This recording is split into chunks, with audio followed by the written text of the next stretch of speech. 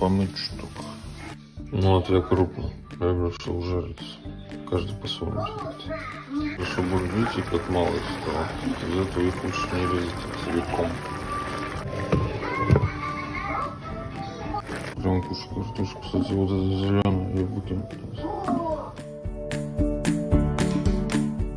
Готовили картошку, чистили ее, резали. Смотрите, как мало уже лисичек целая. Так что не режем. Вот на картошечку это сделано. Вообще немножечко, потом добавим. Сейчас вот это все туда.